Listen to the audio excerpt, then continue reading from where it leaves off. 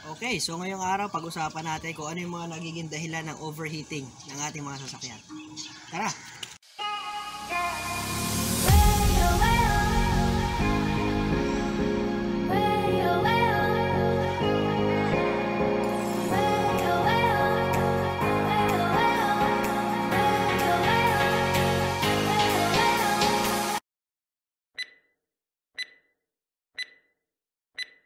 Okay, sa video na to, pag-usapan natin ano ba yung kadalasan nagiging dahilan ng overheating ng ating mga sasakyan.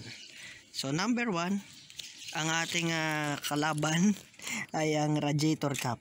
Yan. So hindi masyadong pinapansin niya kasi nga nandyan lang basta humihigpit sa tingin ng iba okay na yan. So hindi po, may goma po yan no.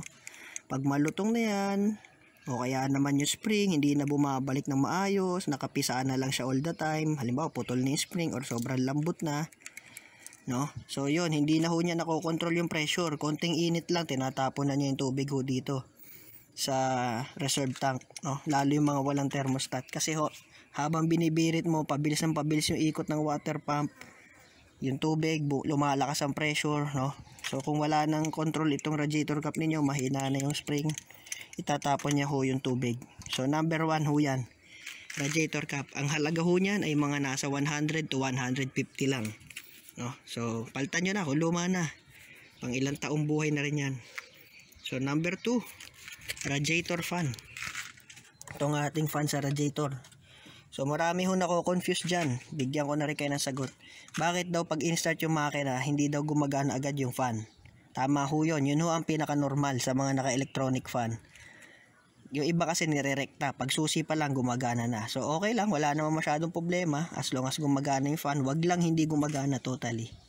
No, iba-iba kasi tayo ng kaso. Mayroon kasi nga mas kailangan na numakina nila yung nakarekta kasi para pansamantagal, kumbaga, para hindi mag-overheat yung makina. Pero hindi ho yun ang pinakasolusyon. May iba pang kayong dapat ayusin kung bakit nirerekta nila yung fan na yan. Sabihin, meron sila iniiwasan na mangyari or ah, takot lang talaga sila mag-overheat. Wala namang problema doon. So, pag nakarekta ho ang fan, pag susi, gagana agad, okay? So, pag hindi ho nakarekta ang fan ninyo, iintay nyo pa magkalahati yung temp gauge ninyo bago ho yan bumukas. At saglit lang ho yan, hindi yan magbubukas ng matagal. Pag na-reach niya yung level ng init na normal operating temperature, bubukas ho yan.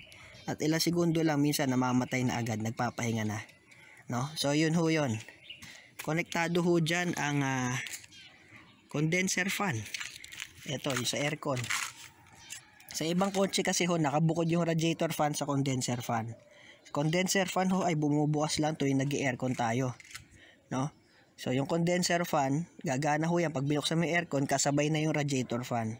So, dun ho malalaman kung sira na rin yung radiator fan ninyo. Kasi nga, dapat gumagana sila parehas. No?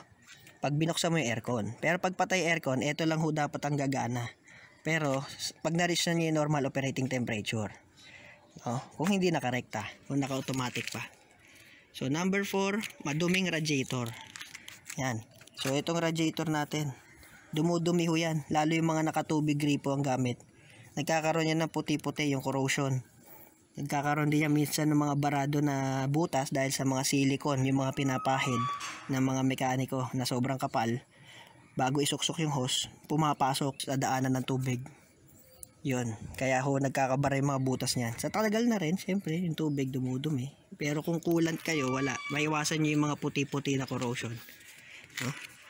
So, number 5, thermostat. Ano ba yung thermostat? Yan yung madalas pag-awayan ng mga mekaniko tsaka mga may-ari ng sasakyan. Bakit daw ba tinatanggal? So, ang thermostat ho ay ah, nandun sa ilalim. Doon sa thermostat housing. Iba naman, nasa ibabaw lang. Basta nasa dulo ho yun ng hose ng radiator. Papunta sa makina. So, ang trabaho ho nun ay para ma-regulate yung ah, temperature ng makina. Ano ba yon? Meron hong normal temperature ang makina. Yan ho yung ah, sinusunod ng mga engineer. Yung iba naman kasi ang gusto, sobrang lamig lagi ng makina. Yung halos hindi umaakyat man lang sa 1/4. So, iba-iba ng kaso ho kasi bawat makina, bawat mekaniko. Yan yung thermostat, bubukas lang ho yan pag normal operating temperature na. At ah, yung malamig o yung ah, katamtamang init lang ng tubig ng radiator, siya naman yung pupunta sa makina. At yung mainit na tubig galing sa makina, tsaka naman siya pupunta sa radiator. No? Tapos palalamigin naman ng fan ngayon. Kung wala kayong thermostat, dire-diretso lang ho ang inyong tubig. Tapos hindi naman naka-on yung fan ninyo. Paano niya palalamigin yung tubig? 'Di ba? So bubukas lang yung fan nyo saglit. So magka-partner lagi ho yung thermostat at saka yung thermos switch. No? Yung thermos switch ay uh, yun ho yung nagsasabi sa radiator fan na bumukas ka na pag na-reach na yung normal operating temperature. No? Yung thermos switch ang ating uh, number 6. Dahil yung thermos switch ho, pag nasira din ho yan, magkukos din yan na overheating kasi mainit na yung makina, hindi pa sinasabi sa radiator fan na gumana ka na. No? So, mag-overheat. Kasi hindi na nagiging accurate yung uh, pagbukas ng radiator fan natin. Or minsan talagang totally hindi na po bumubukas dahil doon sa thermo switch na yun. So, ito. Sumunod ay uh, yung mga leaks ng coolant or tubig sa mga hose. Minsan ho, may punit yan na maliit pag bumabibrate yung makina at saka lang sumisirit no? Yung mga nakatagong hose ng tubig do sa ilalim. So yun yun. Mga leaks. Babantayan yung leaks. Kaya maganda na coolant ho ang gamitin ninyo kasi may kulay yon plus matagal mag-evaporate. Hindi kagaya ng tubig pag tumutulo yon tas sobrang init na ng makina ninyo nag-evaporate ho agad yon at hindi nyo na makikita kung saan yung leak galing. Pero pag coolant ho may kulay yon makikita nyo mismo kung saan siya nagli-leak kahit makauwi kayo sa bahay makita nyo andun pa rin yun hindi pa rin siya sumisingaw sa init. So yun ang kagandaan no nun. Kaya yung leaks iwasan natin. I-inspect ninyo maigi yung mga hose ninyo. Sumunod po ay water pump. Ano ba yung water pump? Ito ho yun. Yan yung may butas. May pulley.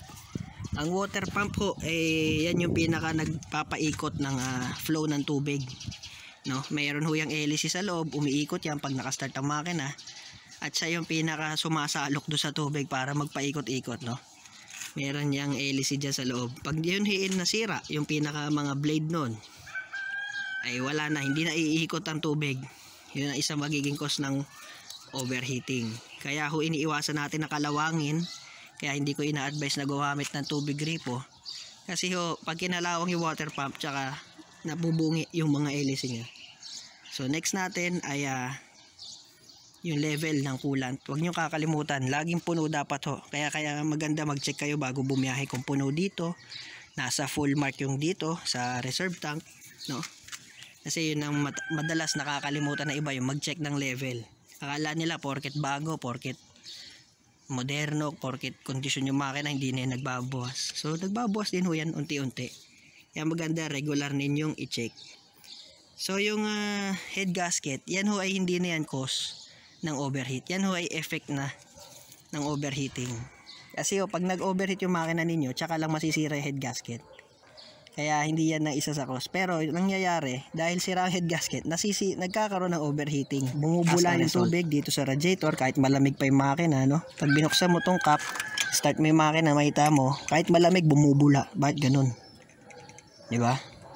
So, hindi dapat bumubula o kaya hindi umaahon, bumubulak, bumubulwak yung tubig pataas. Dapat nga yan, pag nirevolusyon mo, umiikot yung tubig. Or uh, pababa, hindi yung pataas ang buga.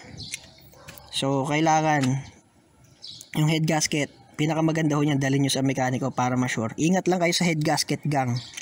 Kasi mayroon hong head gasket gang na tinatawag. Yun yung mga mekaniko na ang hatol agad sa makina ay head gasket ang sira kahit na minor lang. Ingat kayo doon. Medyo mapapagastos kayo ng malaki pag yung gang na yun na nasa lubong ninyo. Mapanganib sir. So ingat kayo. Head gasket napa ano naman yan eh. Nasa malakas ang pressure dito. O kaya iangat ninyo to.